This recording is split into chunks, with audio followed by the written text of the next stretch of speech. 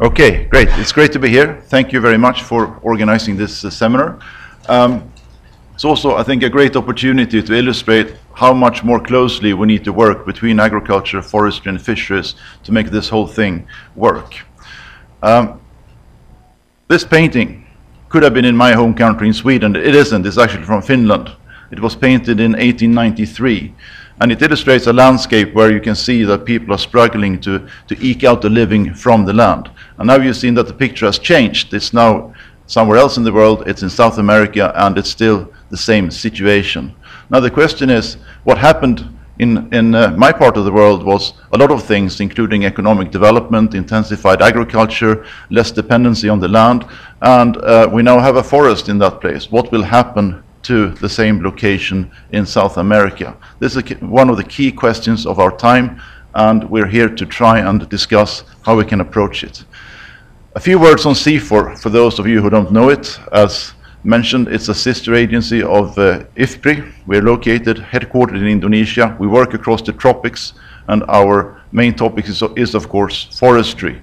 But we're taking forestry into the landscape. And we, we think and know that the decisions related to forest and landscape will have to is what's going to shape our future. We're part of the CGIAR. You know about CGIAR, 15 research organizations and some other entities. Um, CIFOR leads the global program on forest, trees, and agroforestry. And I want to point to one specific item in that program. That's what we call Sentinel landscapes. We're making an effort to establish long-term research sites across the world and to use those sites to study multidisciplinary, multi-sectoral issues. We think we need to be brave enough to make a long-term investment, to take a long-term perspective, even if we know that funding will never be more than three years ahead of us. CIFOR turns 20 this year. We are a product of the previous Rio meeting, and actually might be interesting to note that the US was one of the founding countries. Now, the title of this seminar, Food, Forests and Landscapes, Solutions for Sustainable Development, raises a number of interesting questions. i am going to address four of them in this talk. What is the problem? What defines our priorities? Why is the landscape approach needed? And how will a landscape approach actually work? So to start with, what is the problem? Sometimes helps to zoom out and look not only to the last two weeks of media or the last five years of research, but look at a 50-year period and see what's been going on. Over this period, obviously, the GDP per capita has tripled. Over the same period, our food production has more than tripled. Over the same period, the number of not food insecure people has also tripled. And of course, over the same time, our emissions have also tripled. It's a pretty good correlation here. Further, over the same period, food has become cheaper in real terms. Yes, it's become a little bit of an issue over the past 10 years or so, but over the full period, it's cheaper. But then, the number of hungry people has stayed the same. So I think this is an interesting perspective to take. Obviously, increasing food production, increasing the economy has not led to reduced number of hungry. We should perhaps take some lessons from this, and I think we are doing that, and it will be important for the future. Because the future, what can we expect? 9.6 billion people in 2050. And in 2050, the United States will not be the third most populous country in the world anymore. It will be Nigeria. Changing consumption patterns, continued economic growth, expectations of justice and equity, migrations, both to cities and between countries, increased climate variability that threatens our systems of production. So only 30, 40 years ahead, the world will not look like it does today. Why are forests important in all this? Livelihoods of poor and vulnerable. Forests provide an enormous amount of household earnings for those that need it most. We get food, nutrition, and safe drinking water from forests forests are, contain 80% of our biodiversity. And we might think that climate change is, is a problem here, but it's, it's the opposite. Forests actually absorb a huge amount of carbon every year, despite deforestation. And following the Rio meeting, green economy, green growth, we have an enormous expectation on the bioeconomy in the future, and forests will be a big part of it. And finally, agriculture. Forests provide ecosystem services that sustain a lot of our agriculture systems. So that's the problem. Now, what defines our priorities? I have started to refer to these as the big five of sustainable development. It's the post-2015 agenda, it's the food security processes, it's handling climate change, it's biodiversity, and it's the green economy. Big five of sustainable development. And when I talk, talk about forestry and what we should aim for, I would like to see forestry contribute directly to each of these objectives instead of having its own goals inside the forestry box. And, and then we can hopefully achieve political relevance and a more positive perspective of forestry. You know, forestry is always a problem. Deforestation, illegal logging, forest degradation, loss of biodiversity, corruption, you name it. It's always a problem. I want to turn that around. So one way of, one example of this is to look at the water supply in Jakarta. Jakarta actually enjoys safe drinking water, which is hugely important for nutrition. Within this circle lives 15 million people, and you can see where the headquarters of CIFOR is located just outside. Now, why do these people have safe drinking water? It's because there is a volcano outside the city which has forest on it, and it rains about five meters per year in this region. So on the slopes of this volcano, drinking water, safe drinking water is harvested and through various enterprises brought to Jakarta. And interestingly, as the economy grows in a country like Indonesia, people now afford this water. And they even prefer it because, as I heard from somebody, it is actually it, it actually costs a lot of money to boil water. So you might as well buy it. And then you think, okay, so they don't boil the water, which means that they don't produce some emissions. Instead, they buy this water. There's some interesting things in this that we should look more into. Now, why is a landscape approach needed? Well, back to the big five. These big five are not only the big five, they're also five silos. Everybody knows how bad the communication is between these governance uh, processes. And at the other, on the other dimension, we have the land-based sectors, and everybody knows how little we talk to each other, except, of course, in this seminar when we're now approaching uh, agriculture and we have a joint thing. This is very good.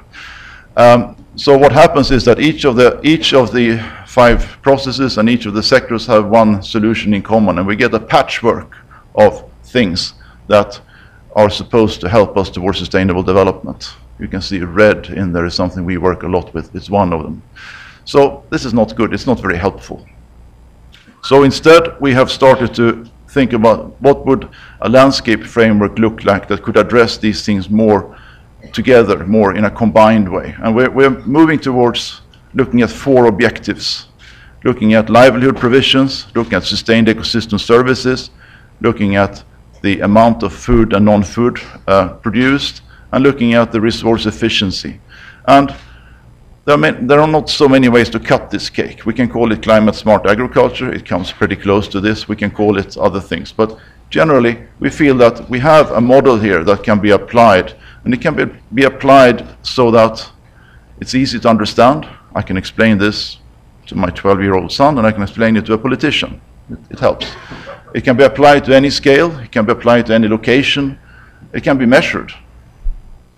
And we also have an idea of how we would like to explain sustainability because we can say that sustainability may not be an absolute achievement. It may be something relative. If we move in the right direction, on these four objectives, then we're doing something that we can call sustainable. So we want to flip this graph. We want to say that the landscape approach yields combined solutions, and that starting from there can actually support and reinforce those processes and sectors that we are serving. I think I've said everything that's coming up here. It's, it's about multiple objectives. Uh, it's about both finding the synergies and uh, dealing with the trade-offs.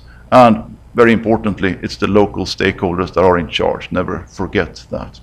This will be tested well in an upcoming event at the UNFCCC COP at what's called the Global Landscape Forum. This used to be the Forest Day on one hand and the Agriculture Day on the other.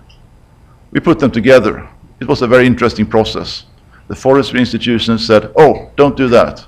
Forestry issues will drown in agriculture. An agriculture institution said, oh, don't do that. Our issues will drown in the big forestry issues. So yeah, there you go. I think this is a very good reason to do exactly what we're doing. So how will it work? We don't know how it will work. There are many outstanding questions, but we, we have, we're convinced we're on the right track. But we need to look into a number of different things. We need to look into how do planning and implementation of these multiple objective, diverse, complex uh, situations look like in terms of governance, in terms of production system, sustainable intensification, for example, in terms of institutions. How does it actually work to work across scales, looking at this at a farm level and look at, looking at it at a policy level? And what is the value proposition compared to business as usual for the farmer, for the political economy, for the investors? And this last topic is what I'm going to talk about for my last one and a half minute or so of this talk. Um, investing in sustainable landscapes for green returns. We think that this, this is an area we have started to work on. We think it's a considerable part of moving forward on the landscape approach. The perspectives here are that investors say that there is abundant capital out there, and farmers say that we need access to long-term affordable and reliable capital and the public sector is keen to use its limited resources to steer these investments in a sustainable direction. Very good. How do we make it work? This is how we make it work. This is excellent news for the investors. It shows that if you put the eggs in many enough baskets, you will have an uncorrelated risk. These are 19, 19 production systems from all continents in different currencies and different climate zones. If you put it all together, you get something that you can manage. So scale is, is very important. Having that scale and having the diversity of the portfolio leads the investors to analyze the situation and figure out that, oh, this looks interesting. We might have something that, that can compete with the Italian government, government bonds, something that produces perhaps 14% of internal rate of return. Very good. Still some things to solve, though. We've always struggled with the verification of sustainability outcomes. And this is one of the clues of this presentation. If we have a framework for the landscape, then we have a model for how to, how to monitor and verify sustainability uh, outcomes at an aggregated level. This is one of the points of establishing that simpler, more understandable, and more operational framework. So, conclusions. We need a landscape approach to meet sustainable development challenges. We need support for this, not just within our usual sectors, but beyond that and above that. We may have critical mass at this point in time to, to look into new paradigms. I think this seminar is one step in that direction, small step, but important step. I think we have a lot of positive signals at the moment that may just be enough to, to move forward. But we also need more collaborative research across the landscape. And this is my final slide. And uh, I'm not sure how to do the click on the sound now, but it may work. Yesterday, President Obama made an announcement that tomorrow he will announce at uh, Georgetown University, I think, what to do about climate change. And he may not know it, but he actually talks about landscapes, because in that speech it says our forests and waterways, our croplands, and snow-capped peaks. That's the landscape to me. So I'm, I think it'll be very interesting to listen to that tomorrow. I'm not sure if this is going to play now. No, it didn't. So, do I open this? What happens if I open it? Oh, that happens. Okay. Maybe it works now. Uh, there's no single step that can reverse the effects of climate change. But when it comes to the world we leave our children, we owe it to them to do what we can. So I hope you'll share this message with your friends, because this is a challenge that affects I think we, okay.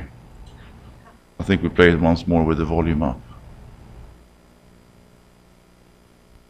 There's no single step that can reverse the effects of climate change. But when it comes to the world we leave our children, we owe it to them to do what we can. So I hope you'll share this message with your friends because this is a challenge that affects everyone and we all have a stake in solving it together. Great, so we all agree. Thank you very much.